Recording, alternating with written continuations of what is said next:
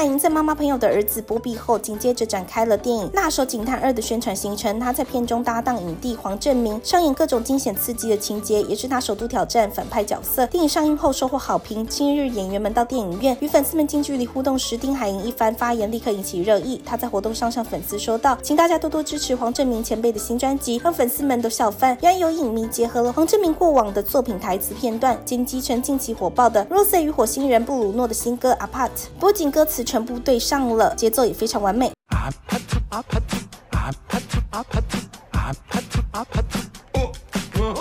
丁海寅的发言引来大批粉丝笑翻，直呼为什么他听过啦？有空的时候都在海巡社群吗？黄正明的阿帕特比原曲还洗脑，听了就回不去了。